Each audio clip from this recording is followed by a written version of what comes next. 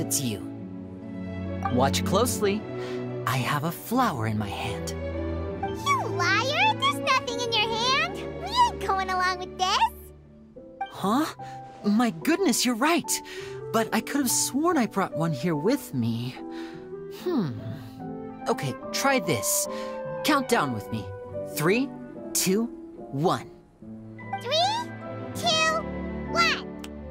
Now, have another look around. Maybe the flowers appeared somewhere else. Really?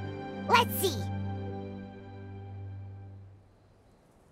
Wow, there it is! Oh, this is a different flower from the last time, right? This one's called, um, oh yeah, a rainbow rose. But more importantly, Paimon has to know how the trick is done. Please!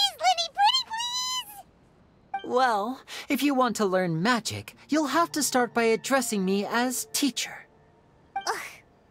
Fine. Please, teacher, please! Since you asked so nicely, I'll share one little tip with you.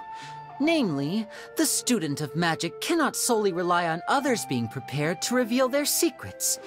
You have to observe, think, and find the answers for yourself.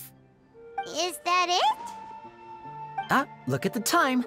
We shouldn't linger here too long. Thanks again for coming to see my show.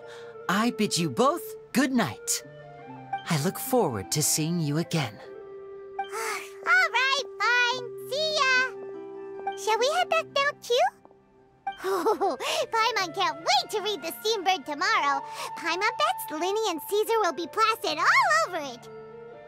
To the Steambird's offices tomorrow morning and see what we can find